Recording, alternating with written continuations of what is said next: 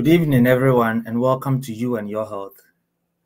Today, we are glad and happy to have amongst us or with us um, Dr. Barbara Entwa. She has been with us for uh, the beginning or from the beginning of this program till now, and I hope um, she would continue to come on the program as and when we need her. She has been on the program to talk about a lot of diseases, including cervical cancer and many more. And today, she is coming to talk to us about um, cardiovascular diseases. Dr. Barbara Entwa is a board certified family medicine physician with over 30 years of experience. She obtained her medical degree from the University of Ghana Medical School and completed her residency in family medicine in Tulsa, Oklahoma. She is an advocate of women's health and preventative medicine and always encourages her patients to incorporate lifestyle changes in their health management. So, um, without spending or wasting much time on her credentials, let's invite Dr. Barbara Entwa to the studio. Hi, Doc. Hello, how are you? I'm fine, thank you. And you? I'm well, thank you. Well, today Erika is not around, so I'm I'm managing all the stuff in here. I hope our lovely viewers would bear with us if there is any technical glitch or something else that comes up. Um, so today we are glad and we know that you are coming to talk to us about cardiovascular diseases. But um, before you go on, I think I would have to thank our last speaker who um, discussed with us and um, various topics uh, last week. And I, I, I would encourage everyone to go back to watch it if they did not. I mean, she was awesome. The the talk was so brilliant, and I mean, I know men and women are going to benefit from that talk. Um, Dr. Barbara Entwa, yes. before you go to your topic, I would want us to talk a little bit about your book.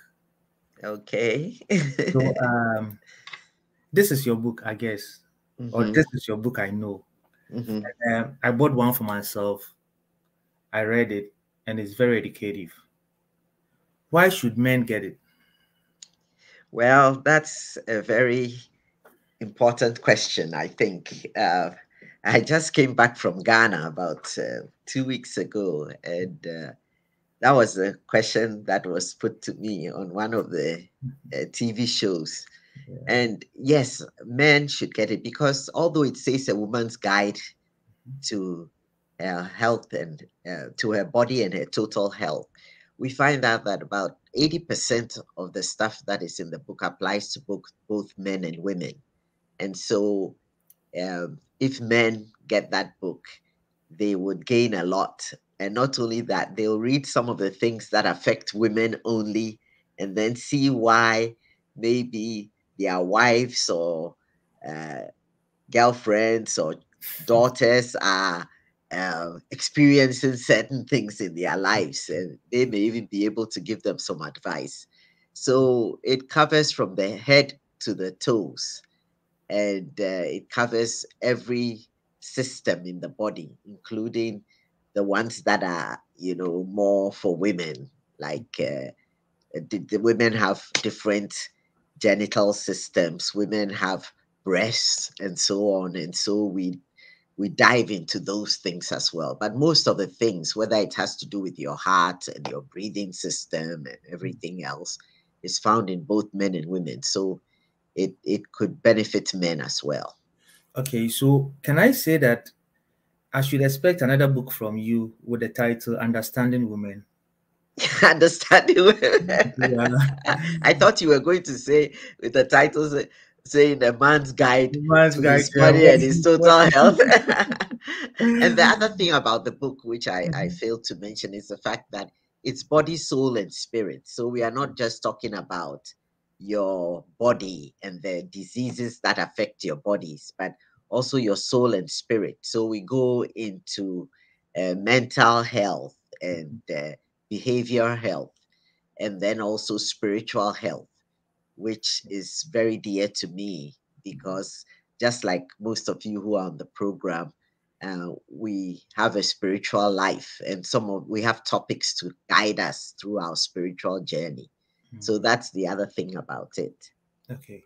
So um where do men get these books to buy? Because I, today I'm focusing on men because um if we don't take time, the men will leave the women to go and buy all the books. I see. So, yeah. Um, where should well uh-huh. I think that as you mentioned, for the men, it's a good book to buy, even for your wife for Christmas, because what happens is that then she the book is in the house, so you can also read it, and not only your wife. but Auntie Jane, who is in your church, has some copies, and then mm. also there are some copies on Amazon as well.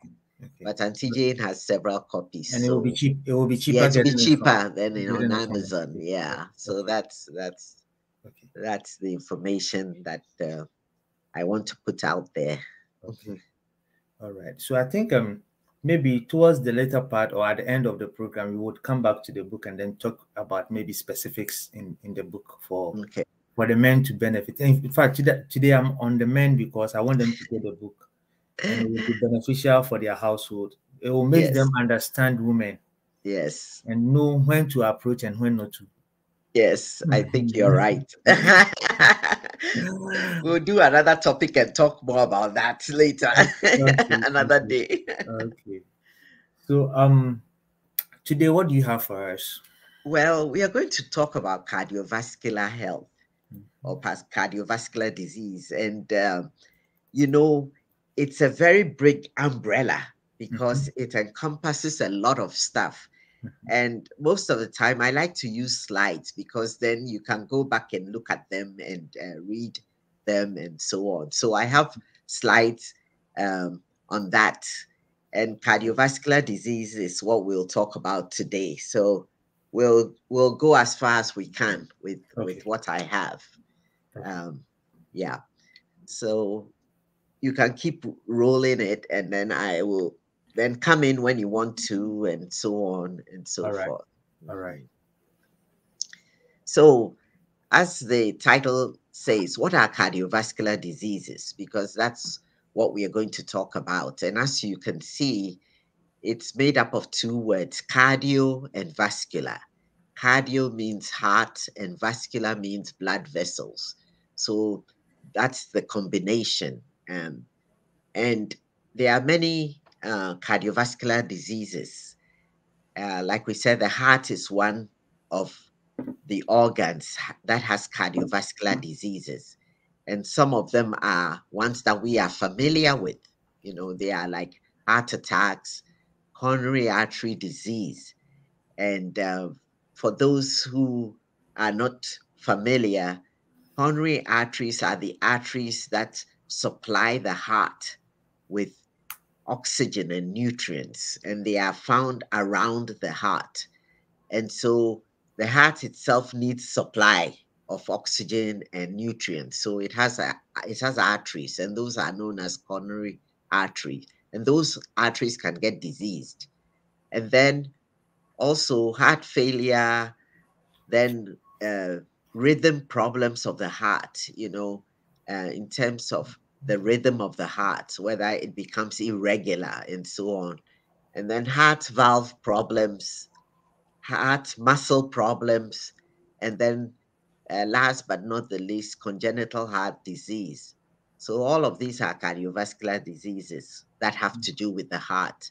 And I know that uh, some weeks ago you had um, somebody come on talk about uh, congenital heart disease, I believe, because of a little baby who had it. Yeah. And then the other big area is stroke, which is uh, happens in the brain. Okay.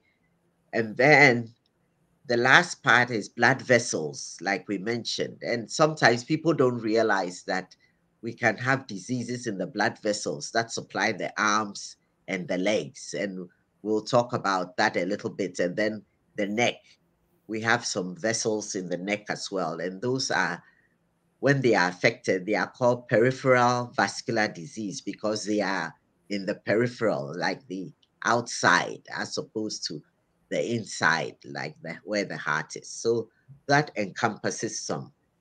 But as my next slide shows, some are more uh, common than others. And um, we find out that, you know, why are cardiovascular diseases import, important? And they are very important because there are about 70 million people worldwide who die from cardiovascular diseases. And uh, they also account for uh, all about a third of all global deaths. Um, so they are very important. And they found out that heart attacks and uh, stroke make up about 85%. So the brain and the heart, you know, they make about about 40, 85% of deaths uh, that we had mentioned. And so, so um, that's why it's important. Mm-hmm. So I'm um, talking about the epidemiology. Mm-hmm. Where do we say the prevalence? Is it among uh, blacks or it's among uh, white or Asians or? That's uh, interesting. Actually, it it's it's common in all races. Okay. And not just one particular race. And we'll find out. And even right now, it's growing more in the uh, low and medium developed countries, which before we thought, oh, they are just infectious diseases, but you find out that it's also growing there. And actually, uh, WHO had said that now a lot of cardiovascular diseases occur in those countries. And it's because the things leading to cardiovascular disease are not well controlled in those countries mm-hmm. as opposed to the Western world. Okay. Yeah. Okay. And they think that at one time it looked like they were dropping, like cases were dropping, but all of a sudden the drop has kind of become um, what should I use? It's not dropping as fast as we thought. And that is because of the fact that there's increased obesity and diabetes all over um, the world now. And that are some of the risk factors leading to uh, cardiovascular diseases. Mm-hmm.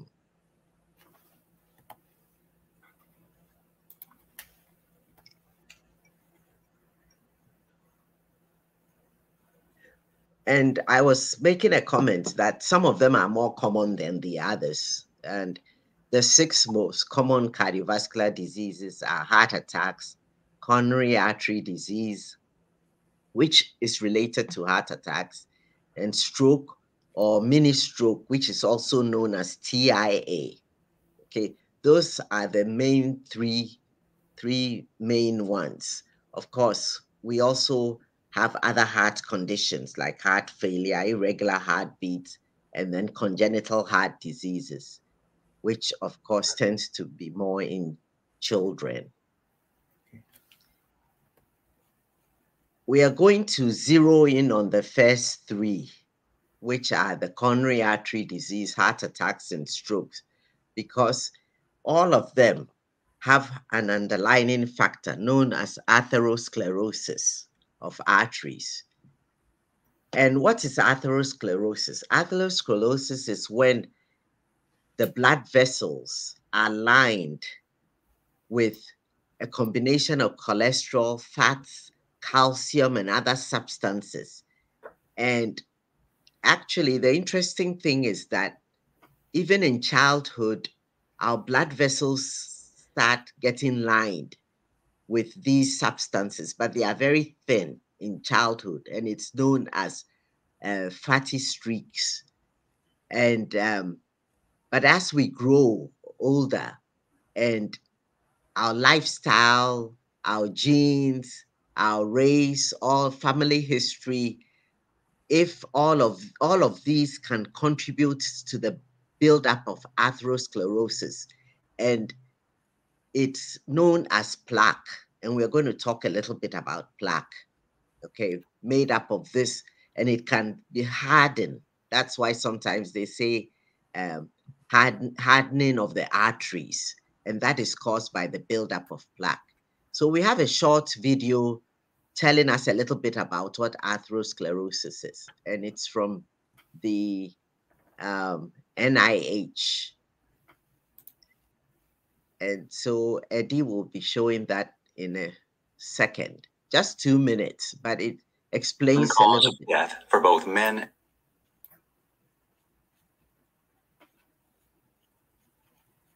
In the United States, coronary heart disease is the number one cause of death for both men and women.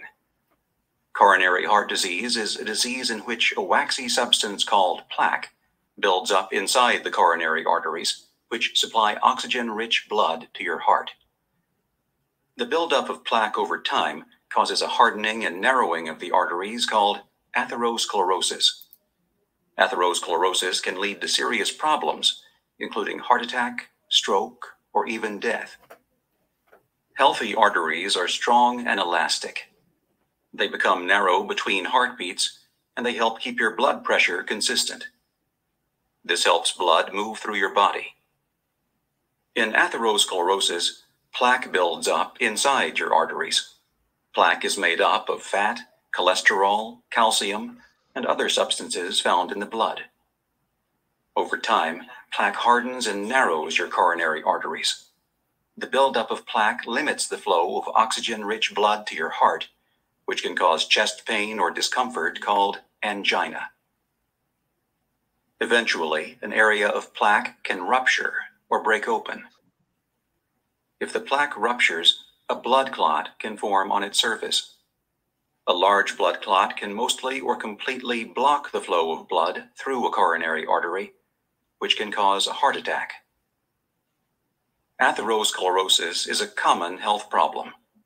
The main treatment for atherosclerosis is lifestyle changes, such as following a healthy diet, quitting smoking, and being physically active.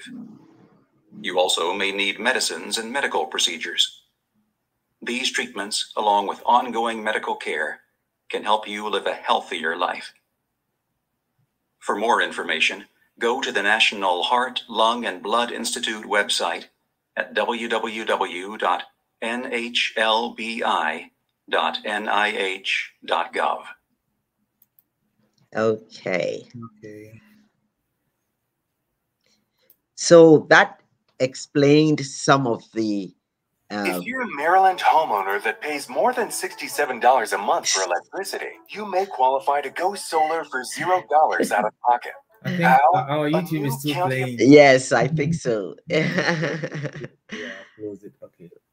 Those are the disadvantages of listening to important information. Then they have the ads, but but I think that information was uh, quite uh, educative, and I, I hope that very, very everybody yeah gained something. So we heard on on that video how coronary artery disease uh, is one type of um, uh, cardiovascular disease, and it's the buildup of plaque. And then when the plaque builds up, it bursts open, uh, it forms a clot, and then it can block the coronary artery. Then you get heart attack because it means that the muscles around that area are not being supplied with blood, and uh, you end up with a heart attack or what we call myocardial infarction or MI. And then peripheral artery disease, sometimes people don't know much about this, but like I said, it happens in your extremities, in your hand, in your arms, and in your legs. And it tends to be quite common in um, people with diabetes, for example, uh, because, uh, and then those who have high cholesterol. Because what happens is that, just like we said, the plaque will build up in those arteries. And then what happens is that then your lower body, for example, your legs, your are not being supplied with enough blood. And so you can even have gangrene and people have amputation. They have a little cut and it's not healing because the blood supply is very slow. And so um, they may end up with amputated legs. And the um, it can also happen in your upper extremities. And the interesting thing is, if you are a diabetic, you know, the increased blood sugar in your system tends to cause the lining of blood vessels to be affected, to be disrupted in a way. And then plaque starts building. So it's very important as a as a diabetic that you make sure that uh, your sugar is well controlled.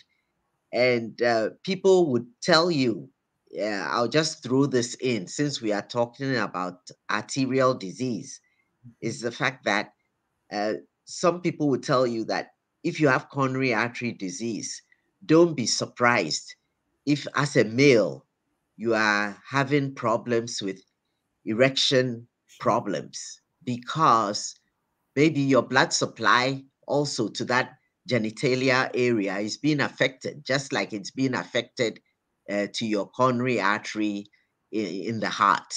Okay, so that that that is uh, that is something that people would uh, tell you about, and and of course, if you have diabetes by itself, that also leads to uh, erectile dysfunction because of either blood flow or because the nerves are being affected by the high sugars. But that's another topic. But anyway, a quick question. uh-huh. Amongst these, where do we find um, deep vein thrombosis? Okay, so that is another thing because with deep vein thrombosis, we are talking about a vein. Okay. Okay, and these have to do with arteries. Okay. Okay, yes. So that's the main difference. Okay. Uh, with DVT, where you have a blockage in your veins, um, in the deep veins in your legs. You know, you go on a trip, you sit down for too long, you are not walking around, or you may have congenital um, congenital problems associated with uh, how your clotting mechanism works and so on. Mm-hmm. And then you can end up with a DVT. And of course, even people with uh, COVID infections sometimes end up with a DVT, and then that can go into your lungs and cause what we call pulmonary embolism, where you have clots all over in the lungs.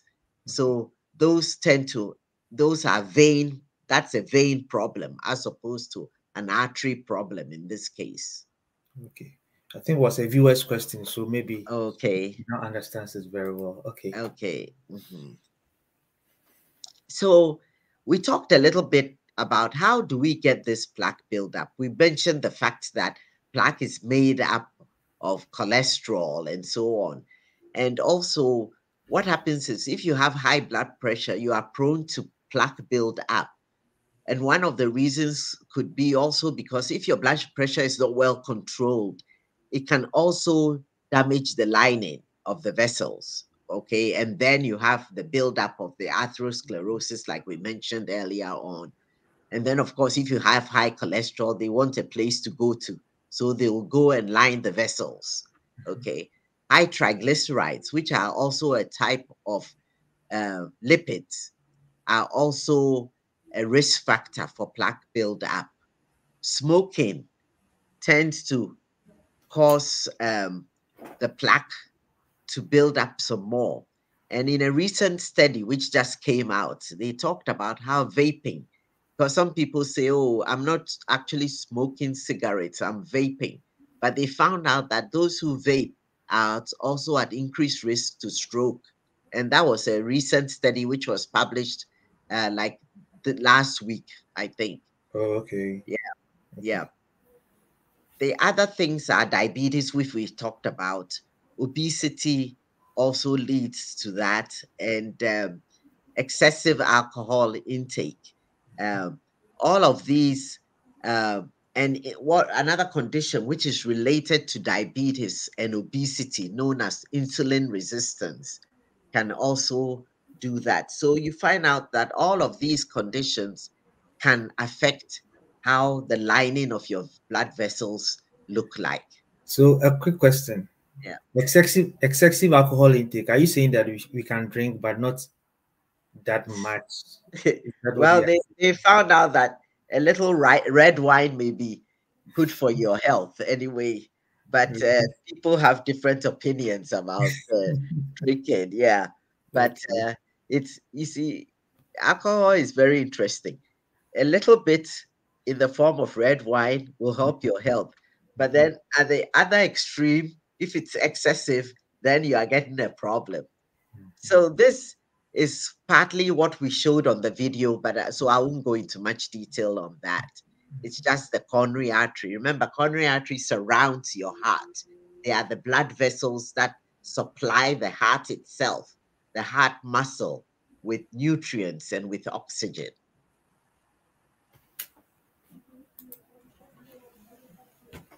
So you may have coronary artery disease and you may not have a heart attack, okay? Because maybe the coronary arteries are not, um, the, the blockage is very small. Maybe it's 25% blocked or maybe it's 50% blocked. But we mentioned on the video that when a plaque breaks open, you know, it attracts platelets. Platelets are what helps our blood to clot when you cut yourself. And so you have all of these clot forming substances will come around and try to cover the broken surface of the plaque. But in doing so, they are also um, decreasing the the the um, internal um, diameter of of the artery. And we have a name for the clot. It's called a thrombus, and it will keep enlarging as more platelets come around, and it will block the artery. And once it's blocked, it means the blood cannot flow forward. And if it can't flow forward, then it means that the area in front of it is derived, and that is the muscles. Basically, when you are talking about the heart, is is is is deprived of um, of nutrients and oxygen rich blood, which every cell needs, including the cells of the heart. And so when you don't have that, what happens? The muscle will die. And that is why we call it myocardial infarction. Infarction means death. Okay. And as we know, heart attacks can be different. Some may be mild, somebody has a mild attack, or somebody has a severe one where he dies right away. And the other, moving to the brain, we can also talk about stroke atherosclerosis. And it's the same kind of uh, situation where, as you see in this diagram, you see a normal artery on the left, and on the right, you see an artery which has uh, atherosclerosis and it has a, a blood clot. And so, in the same way, blood cannot flow through the artery areas of the brain are deprived of oxygen and nutrients, and you have a stroke. The cells in that area either die or they are deprived of those things and they suffer. And that is manifested in parts of our body. The left side or the right side, you will have weakness, etc., as we know in stroke. So before before that, a quick question: um, How does my family history affect my health, my heart health?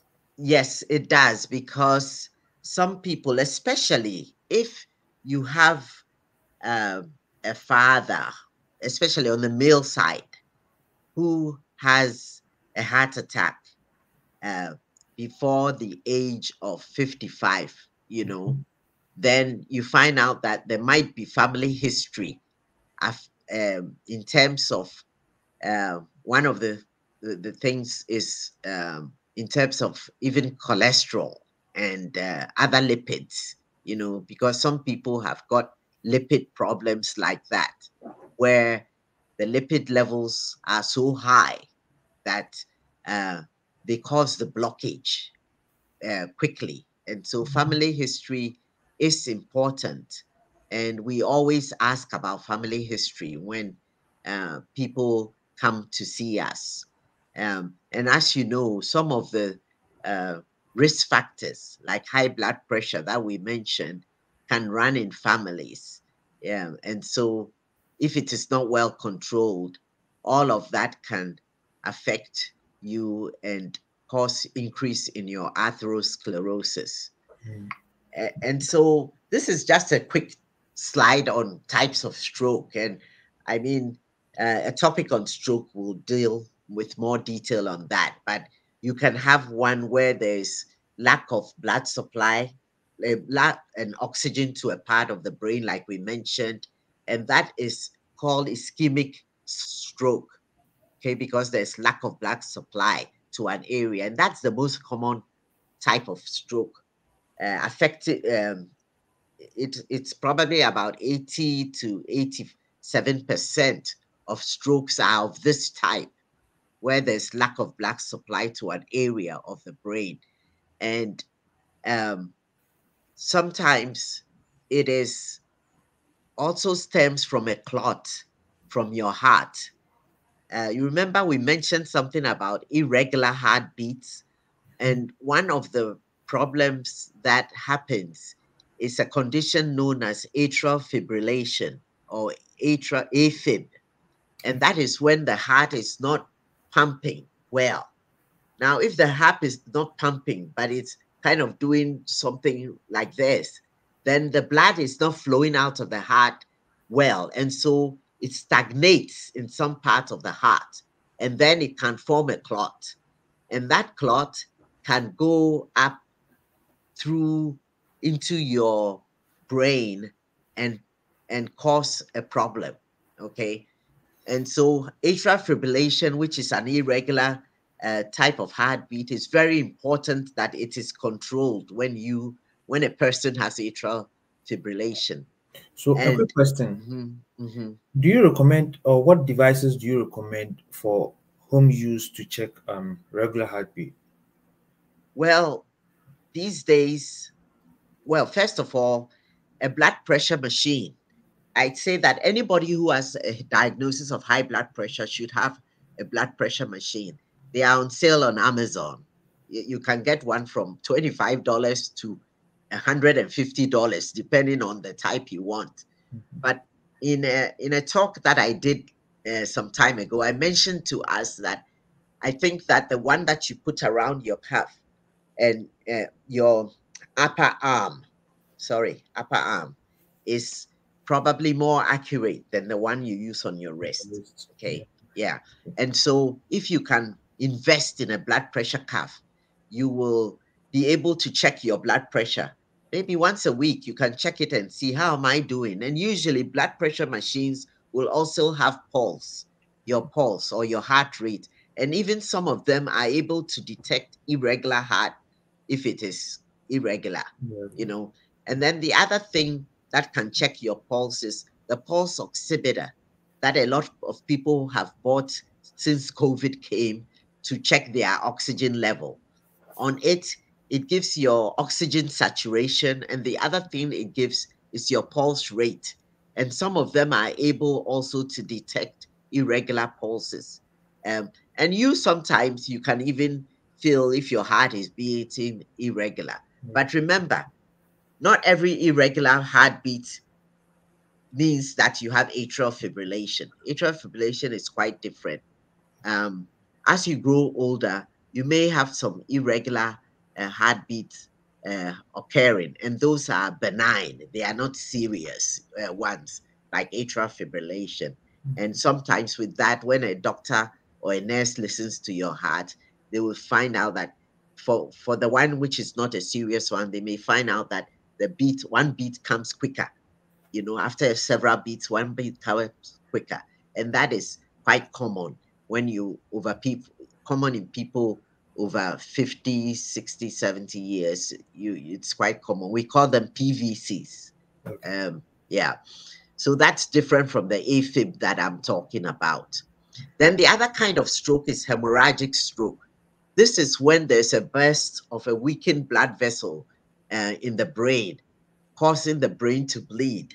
And this stroke type of stroke tends to ki- kill people quite quickly uh, when you have that one because the blood vessel just bursts and the blood is all over the place and uh, there's shortage of blood supply to the various parts of the brain and not just one particular part and so uh, that's called a hemorrhagic stroke um, if we look at the next, uh-huh. So this is a picture of arteries in the different types of stroke. the one towards our left, I, I don't know whether it it shows a blood vessel that has burst, and so the the the the the blood is squirting out of it, you know, and that's the hemorrhagic stroke. And then the one on the right is the ischemic stroke. Yes, uh, you have the pointer on it. Thank you.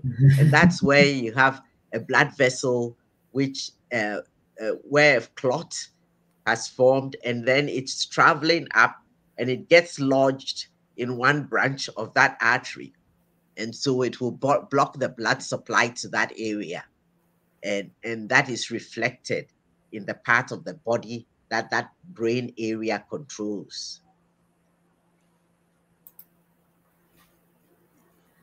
And so this is a quick one. I know I have a lot of slides, but just remember uh, the uh, the stroke American Stroke uh, uh, Society talks about uh, to remember stroke. Think about the word fast, um, and so with okay, we'll talk about CHF uh, later, but with the word fast, it shows F A S T. F is your face. You have a drooping to one side of your face because of weakness of one part of the face. And then you have an arm weakness. So people's arm will drop, you know, when they it's weak, so it drops. And then speech difficulty. They can't talk well. You they you can't understand their words. And then the, the last one is the T. It's time to call 911. Um, it's not time to give them water to drink or anything like that. It's time to because when 911 comes there and they some they are able to rush the person to the hospital these days not every stroke remains a stroke if you get there in time and they do a ct scan in time and all the stuff that they need to do they can burst the clot they can go in and use a medicine to burst the clot. And so you have somebody who came to the er and they uh, they are, they had a stroke with one side of their face drooping, and they are hurriedly gone into the ER and uh, to the um, radiology department. They do the studies and they give them that clot buster, and then you find out that within an hour they are back to normal. You know because the clot has been burst, and it's the same with um, heart attack. If you have a clot somewhere, they take you to the cath lab, they go quickly and uh, they can burst the, uh, remove the clot.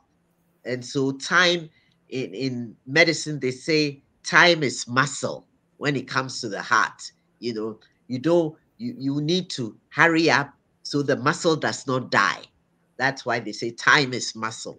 So you have to quickly go to the emergent, uh, uh, to call 911 and so that they can come and in sometimes in some places even the 911 people will may be able to even start some type of therapy or whatever yeah. but uh, that's that other symptoms we know of stroke may be vision loss people may have vision loss in one eye or in both eyes or they may not be able to walk we've all seen pictures of people who have had stroke there may be confusion severe headache that cannot be explained and then they have coordination and balance prob- problems. So all of these are signs. And um, I think my next slide is talking about mini stroke, probably. Is that a huh, TIA? The interesting thing about TIA or a mini stroke is that with that, there's just a temporary temporary blockage of the uh, vessel. Okay. Um, uh, so what happens is that part of that brain area does not receive uh, the nutrients and the oxygen, but soon that clot dissolves by itself or dislodges. Okay, and so the symptoms will go away. And this can last anywhere from five minutes to 24 hours. Okay, up to that time. Usually, if it's more than 24 hours, then we say it's a full blown stroke. But uh, within that time, you know, um, you revert back to normal. And when that happens, you just don't say, "Oh, uh, he he had this thing. Now he's better." Uh, yes, thanks be to God. But there's more stuff that has to be done now that he is better, he has to go and be worked up. You know, we do a workup for you to see is there and is what is your cholesterol like? Do you have a, a, a narrow artery in your in there? Do you have AFib? W- what is it? Why did you have the TIA? And the reason it's important is that about 30% of people with TIA go on to develop a full stroke within a year. You know, mm-hmm. so that's why it's important that TIA is taken serious. And also, they found out that about um, 40% of people who have a full blown stroke, when you go over the history, they'll tell you that, oh, I had a time when something happened to me, a TIA, and they didn't really um, pay attention, you know. Yeah, so that's important. And those are the other symptoms that you can have. We talked about numbness and tingling, dizziness, uh, balance problems, the headache, the slurred speech. You see, somebody will have slurred speech, and then soon the speech comes back to normal. And I've heard this many times, even amongst my patients, and even here, and even in Ghana. You know, they said, "Oh, his speech went away. It was kind of slurred. Then he came back, and people are happy, and they think, well, then nothing has happened. But actually, it's a warning that you should go for a work up for stroke. So after a year and I haven't developed a full blown uh, full blown stroke, mm-hmm.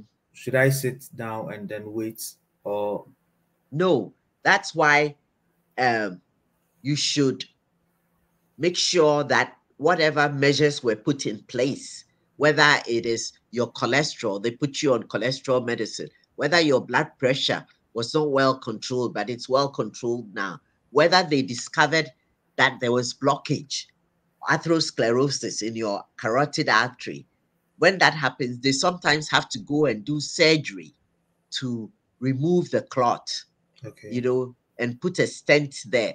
Well, remove uh, the um, the atherosclerotic area.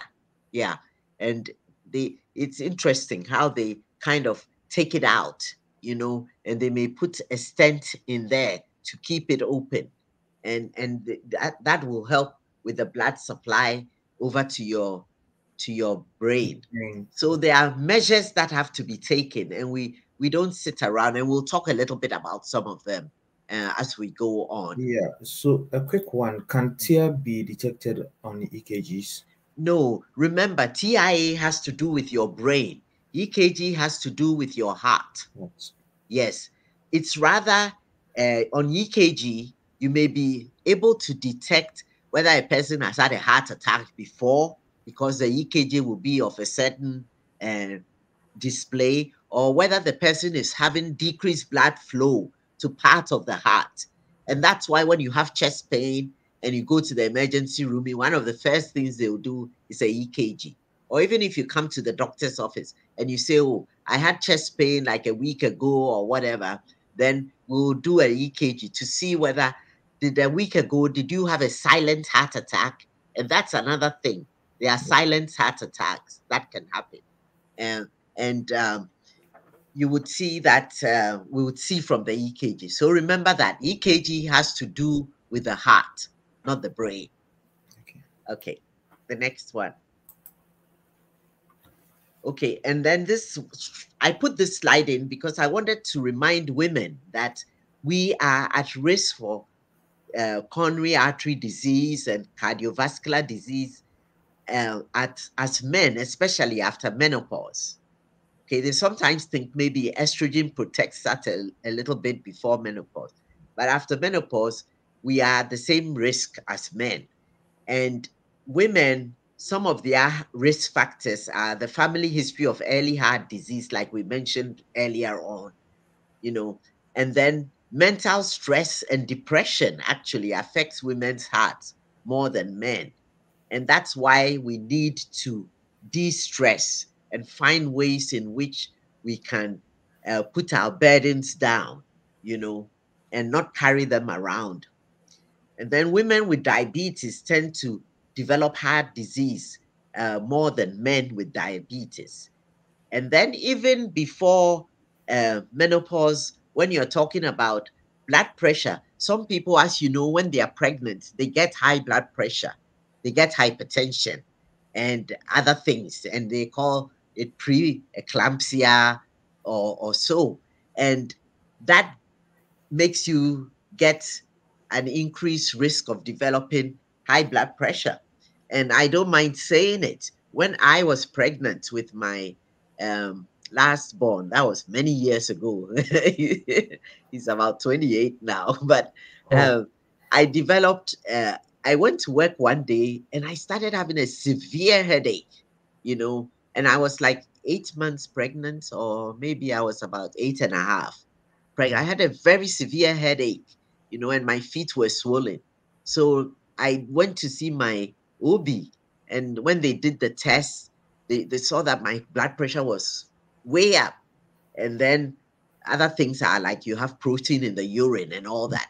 And when that happens, they have to put med- IV uh, medicine on you to try to decrease the blood pressure, and they will try to deliver the baby quickly. Quickly, and yeah. so uh, that happened. But later down the years, I developed high blood pressure. And I also have a strong family history. Okay. So uh, that happened. So this is just my own example. But mm-hmm. not just high blood pressure in pregnancy, but even diabetes. In in some people, they are not diabetic, but when they are pregnant, then you find out that their sugar goes high. They have to be put on diabetic medicine or insulin or so on. They'll find out that when after pregnancy, um, they may get better, but down the road, you know, there is an increased risk of developing diabetes. diabetes. Yeah, yeah, yeah. yeah. And those who have low children who are low birth weight, or those who um, also um, have preeclampsia, which which was what I had. You mm-hmm. know, they are prone to um, high blood pressure and those kind of things. So. I thought we'll talk a little bit about cardiovascular disease in kids, uh, because our time is going. We're already 47 yeah. minutes. Yeah. but uh, you find out that we talk about birth defects mm-hmm. or congenital defects, which are present at birth.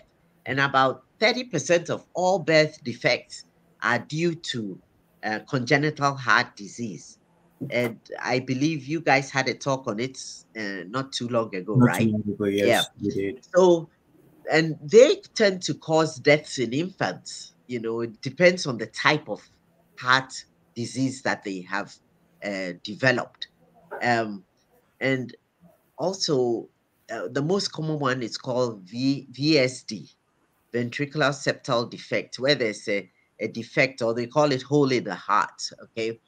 And most of them actually are small and they may close by themselves, but not all of them close. So that was that was a question I was coming to. That most yeah. people think that they will close by itself, so they don't seek medical attention. Yeah, it's what important that? that the pediatrician, yeah, the pediatrician keep an eye on it. Yeah, you're right. Okay, the next one is stroke in children. So we talked about uh, heart disease in children and stroke in children, and the the time is going. But the one that I want to emphasize is because we all come from Ghana. The, the common, there are several things which may cause stroke in children when they have heart issues with their valves and they are they have had cardiac surgery or in they are in cardiac surgery, then they may end up with a clot and so on. And those who have abnormal blood vessels in the brain, they can have stroke. And those who have clotting di- disorders. But the one that I want to mention is sickle cell disease. As we know, sickle cell is quite common in Ghana. And what happens is that the sickle cells, their shape, of course, are different from normal red blood cells. And so what they do is that they can clog the blood vessels. Mm-hmm. And, and they can also, the sickle cells can also damage the vessels. Yes. And in doing that, like we said before, the same kind of uh, picture we got with, when we're talking about uh, adults who had a clot in their brain. When the sickle cells clog the blood vessels and they affect oxygen and nutrients to parts of the brain. And so you find out that in children with sickle cell, they can have an overt stroke where one side of the body is weak and all the normal things that we see in adults, or they can end up with what they call silent strokes. And they said that about 40% of children who have SS, sickle cell disease SS, have silent strokes, which nobody knows about. But when you do an MRI, you see that that a part of the brain is got the picture of a stroke. Okay. Mm-hmm. And what silent stroke does is that it affects the children learning and decision making problems and thinking. So sometimes you may have a kid with sickle cell and you don't know that kid has had a silent stroke and they are in school and they seem to not be doing well in school or whatever. Maybe they've had a silent stroke, you know, and they have um, methods of treating uh, or preventing strokes in in kids with sickle, sickle cell disease because there's a test that they do to screen the children who may be prone to a high risk of having a stroke. So they have methods of uh, preventing that by giving them uh, certain medications and uh, blood transfusions. Yeah. So the important part of this talk is this, and I need to talk about this, is the risk factors. We've mentioned some of them. We've mentioned hypertension, high, cigarette smoking, or even vaping. vaping. Those who mm-hmm. think that oh, vaping is fine. You you you heard me talk about the recent study.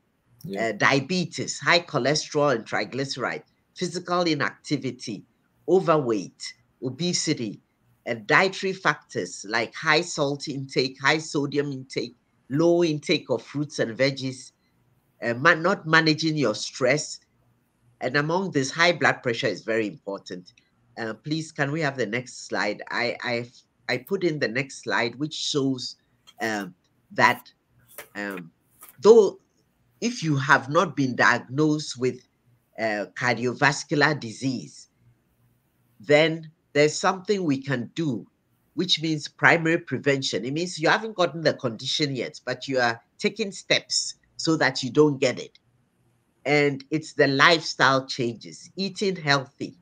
You know, when you look at your plate, how much rice is in the plate and how much vegetables are on the plate. It's important that we increase our vegetables. You eat the rainbow, like they say, and it means different colors of vegetables red peppers, yellow peppers, you know, uh, cucumbers, all those uh, things, you know, green ones, broccoli, all that stuff. And then fruits, salad. You know, people laugh at me. Almost every day I eat salad for lunch. Um, that's what I eat uh, for lunch every day salad with a little piece of chicken or something and people say, "Don't you get tired of it?" But that's the way I'm getting my vegetables in, um, and fruits, nuts. I like nuts. You know, I like uh, almond nuts, and they have the good fats in them, uh, the monosaturated fats, and then whole grains. You know, instead of eating white bread, eat whole grain bread. You know, and lean animal protein and fish fish is very important. It has the omega 3 uh, fatty acids yes, in it. Yeah. And we should minimize processed meats, you know, whether it is um, uh, bacon or uh, uh sausage um, and bologna and all that stuff that people um, eat and they sell. They, they've put a whole lot of stuff in them and refined carbs. Let's go for carbs that are complex carbs, you know, um, and those are made with grains that are whole grain. And avoid the sweetened beverages. Um, they talk about the fact that Christians, a lot of Christians, they don't drink, so they don't drink alcohol, so they drink a lot of beverage, sweetened beverages, yeah. and we have to be careful about that because that lays down a lot of calories, and they they are uh, deposited in your liver, you know, excess calories. Uh, we need to lose weight. It's a tough thing, but let's try and do it. engage in walking or exercise every week, you know. And in diabetics, especially, lifestyle changes are very, very important because you don't know what is going on in your vessels. Okay. And So, then, um, uh-huh, go ahead. with the lifestyle um, changes, Mhm. you know, um, when we were growing up, uh, we were Mm. told that when you eat egg, don't take the yolk. Then Yeah. now they come and tell us that we should eat more eggs. So yeah. where do we stand with egg? Well, with the eggs, apart from diabetics, Mhm. most people can have a- an egg every day, you know. And what I tell people is what I do. I think I have an egg Monday to Friday or almost every day, but I have one egg. And then do you know what I do? I add um, egg white to it. Okay. I was telling a patient this week, uh, was it yesterday or Saturday? She said she eats, some people they eat three eggs. Three. Eggs. know, I mean, yeah. go, I mean, so a lifestyle experience. Let me tell you this: I Mhm. came to the US and then I went to the canteen to get Uh-huh. a fried egg, and then all of a sudden, we, I mean, Ghana we used to take one one egg at a time. Yes. They yeah. fried three eggs together for me, and I was so happy. I mean, but they found out that for most people, the dietary cholesterol actually that you eat is doesn't contribute too much to your total cholesterol as much as what your body itself produces, which is related to your genes. Okay. So, but then for diabetics, if you eat too much egg yolk, you may have a problem. And I have people who are probably not diabetics and their cholesterol looked okay. Then they came back and their cholesterol is high. I said, What have you said? Oh, I'm eating three eggs a day. I said, Oh, okay, maybe you should have just one egg and add uh, egg white. So you that just egg add egg white to it, or if you like and you don't want the yolk, just do egg white, you know, and you find out that you have enough egg to eat and feel full, but you are not eating as much yolk. Okay. okay. So, and of course, those who's smoking should quit smoking. And then another important thing is that sometimes I have patients, their blood pressure is high or their sugars are high. Instead of going on medicine, they say, Oh, I'll tr-. lifestyle changes. Whether you are on medicine or not, you should be doing lifestyle changes. And they'll say, Oh, I don't want medicine. I want to use natural or whatever. And when they say that, they are not even referring to um, uh, necessarily the lifestyle changes. You know, they may want to go and buy something over the counter and use. But you find out that once, if you have high blood pressure, for example, if you keep resisting, what's happening is that that high blood pressure is causing problems. And that's what one person was, was asking about congestive heart failure. You know, your heart fails when it keeps having to pump so hard against the pressure that is in the vessels. And then it becomes weakened. And that's one of the reasons where we get congestive heart failure. Okay. And so uh, let us take our medicines and then do the lifestyle changes because in the end it will benefit us and I, i'm not I'm, I'm on high blood pressure medicine you know and that's it i'm on it and i take it and right now when i measure my pressure it's like 115 over you know something 80 or 70 and it's good and i'm happy about that you know so let's do let's make sure we take our medicines and not resist when we are asked to go on medicines. And sometimes, one thing that your doctor can also do, especially if you don't have con- uh, uh, coronary artery disease or you don't have a stroke or something, you can ask them to calculate your risk for atherosclerotic uh, disease. And there's a formula that is used based on whether you are male, female, based on whether you have high blood pressure, based on your cholesterol level, you know, based on whether you are a smoker, uh, and so on. And we are able to calculate and give a percentage. And based on, and I did that for a patient actually today. Mhm. Uh, I, yeah, I, I had the sheet, I brought it, I wanted to, but I calculated it. She doesn't have heart attack. She hasn't had coronary artery disease. She hasn't had a stroke. But her cholesterol numbers were high. And when I put the numbers in, um, it gave a certain percentage. And the good thing about it is when it's calculated, it says at the bottom, based on your risk, your 10 year risk for atherosclerotic disease, mm-hmm. uh, going on a statin. And the statin is the medicine, uh, is the cholesterol medicine we use to try to decrease atherosclerosis and not increase the amount. You will benefit on a moderate uh, dose of uh, uh, statin. And so we came to, we discussed that, and she said, Yes, I would like to do it. So we started it. So that's it. And the last thing is, like we said, buy your own blood pressure cuff and use it at home if you have high blood pressure.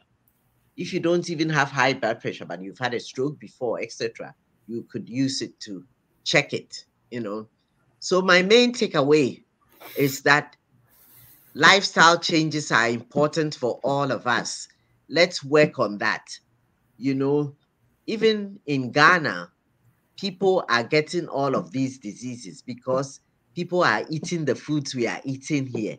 They are going to Kentucky Fried Chicken, they are going to Burger King, they are going to the fast foods, and they are also spending a lot of time in their cars. They are not walking like before. Yeah. So that is a big problem. And and in that case, that's where I think Europe and Britain are very good because people walk a lot.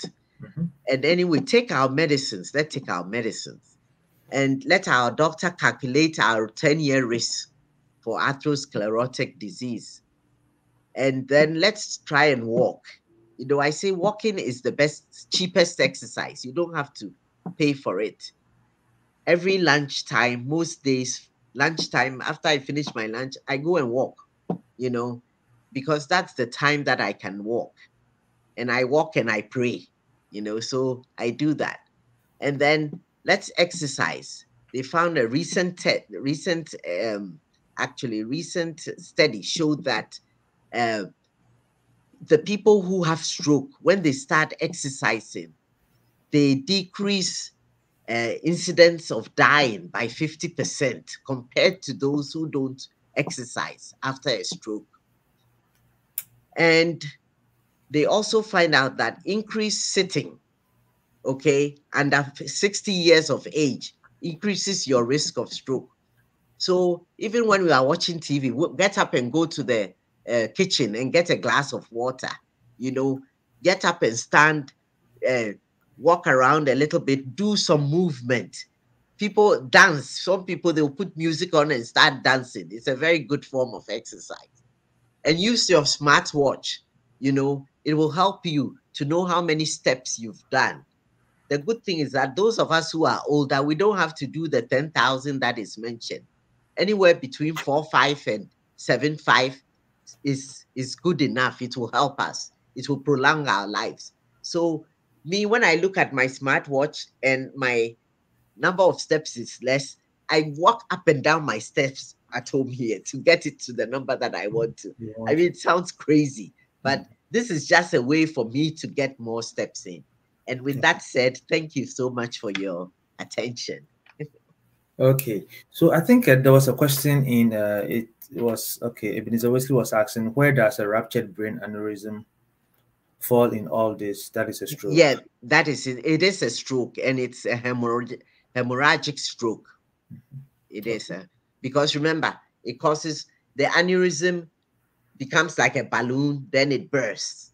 And it, some people also they have just by uh, birth they have what we call malformations of their vessels. So the vessels too are quite weak, and so they too can uh, burst open, and then you get a hemorrhagic stroke. Okay, so um um this Lucia Hininto was asking, please, what I think what about yeah the, the thing about uh, sickle cell trait mm-hmm. they found out that that increased risk of stroke that we mentioned it's mostly in SS and then those who have S and beta thalassemia uh, combined so those other people don't have that increased. The increased risk in stroke is also in SC, SC uh, patients. But those who have AS, for example, they are not in, they are not um, in that category. And so, in most places, in in good places where they have good care of sickle cell patients, they find out that they start screening them with uh, um, ultrasound where they take they want to look at the velocity of the blood flow in their brain and they use transcranial doppler to find it and when they find out that the blood flow is very high you it puts you at a high risk for stroke so what they do is that they put them on regular uh, blood uh, transfusions and also they found a new the new medicine known as hydroxyurea that they used to treat sickle cell, they found that it lowers the risk of stroke in sickle cell patients. Okay. All right, Dr. Ntua. Um, I think there's no question, but my question or suggestion or uh, appeal is that when are we coming to treat the other disease that other heart related diseases that we we made mention of? okay. Well, uh, another time. another time. Okay. So Bafam Wati says thanks. Uh, Paulina Ochi says thanks. Christiana. So, okay. So I think whilst I'm scrolling through the things, um, your final words for us. Well, my final word is my final slide. It mm-hmm. said that, you know, small steps, uh, small efforts can lead to great changes. Okay. So please don't be overwhelmed. What I want you to do is consider what small step can I do? Can I walk up the stairs at work instead of take the elevator? That's a small step, but it will go a long way. Because, like I told you, even in the studies, just standing and not being sedentary has been found to increase lifespan. So, small steps. Let's do small steps. Okay. Yours may be 15 minutes walk three times a week or whatever. Just do your small steps. You may just walk up and down your stairs if you live, you know, in a story building, small steps. So let's try and do the small steps. Thank you very much. Thank you very much for coming to you and your health again. I mean, I think this is is it the fourth? I've lost count of. Yes, I know. You've got you guys have seen too much of me. and I know you'll be coming back. Um, mm-hmm. Dr. Ntua has a book on women's health. Yes, Dr. Ntua has a book on women's health, and we've talked about the book. And uh, let yeah. me let me project it again. Uh, uh, where, where did I where did I keep this book? Okay, so, I yeah. think it was yeah. And Auntie Jane has copies, and look, you see all the stuff that I even talked about. It's there. It's in the book. It's in yeah. the book. Yeah, it's in the book. You know, so please like how we say, it's in the book. put all your questions together, uh-huh. and bring all your questions, and Dr. Ntua will come back to talk to us about our concerns with yes. to whatever is in the book, especially the men. Please buy yes. the book and read. Yes, and give it as a gift to your wives and your girlfriends and whatever. so, well, it's been nice being here. I always enjoy when I have spent my time with you. Oh, and, and uh, I mean, thank you for having we me. We have fast past time, but I mean, people are enjoying it, so I had to keep our time going to now. Um, we thank you very much. We thank you very, very much. Um, good lifestyle, good eating habit, drinking a lot of okay. She says i have copies contact me for your copy. Okay we will contact yeah. you for copies. Yes. Um, and so dr Ntua, we thank you very much. Myself Irikwa, and your lovely viewers and listeners and the Ebenezer Methodist Church and now all the Methodist Church um, uh, Ghana Methodist Church US Canada Europe Ghana we thank you very much for honoring our invitation um, we know that anytime we call upon you, you would come back to talk to us more about our health because we need to be healthy. Thank you very much. Thank you. Bye bye, everybody. Bye. okay, so um, viewers, thank you very much. Um, today Irikwa has taken a leave, a little leave, and so I had to be uh, hosting at the same time co-hosting, but hopefully next week Erikwa would be with us. Um, thank you for watching us, and if you have any concerns, send your questions to emc uh, you and your health at gmail.com or just shoot me a text message with your questions. Buy dr Ntua's book read it. If you have any questions just shoot me with your questions and i would let dr Ntua know. And then when she's ready she would come back to talk to us. Next week we are going to have a nice presenter a very good presenter as good as all the presenters that we've had on this program on in next week or next week to come and talk to us about a, a nice topic that I don't want to disclose now. I would put the poster on there, so be, be watchful for the poster and stay tuned. Thank you very much. Bye.